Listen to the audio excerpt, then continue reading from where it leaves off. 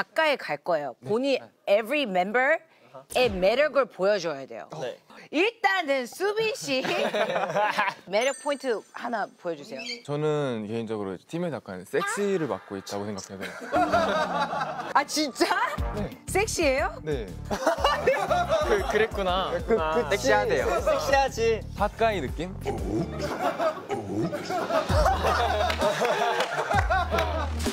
으. 뭐 섹시하지 뭐. 뭐 다양한 매력이 있는 거니까. 아 그치? 이한준 매력 포인트를 보여주세요. 매력 포인트. 제가 또 입술이 좀 이쁘다고 생각해서 이쁘네. 네. 모아들 모아분들을 위한 그렇게 굳이 안 해도 돼. 그렇게 굳이 안 하시- 해리 모아분들 바라보는 제 눈.